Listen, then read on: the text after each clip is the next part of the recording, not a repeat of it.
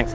Hi, good afternoon. So, um, I've been, uh, I'm Madhusudhan Joshi. Uh, I have been part of Sangam 2018 for uh, to talk about MySQL 8 and its new features. So, it's been a really good experience. There have been uh, a good audience. So, and uh, we did there was there was a good uh, uh, mix of both developers uh, application users and uh, database uh, architects database administrators. So it was really nice talking to them and we had a good uh, interactive session.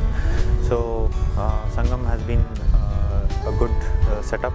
So to to talk about our product and features in the product and uh, uh, of course we just uh, I just have one good feedback is that maybe you just have to increase a little bit of time for the uh, presentation so it will be really nice because the sessions have been interactive and we would certainly want to talk to uh, more people and I really wish Sangam for many such more conferences.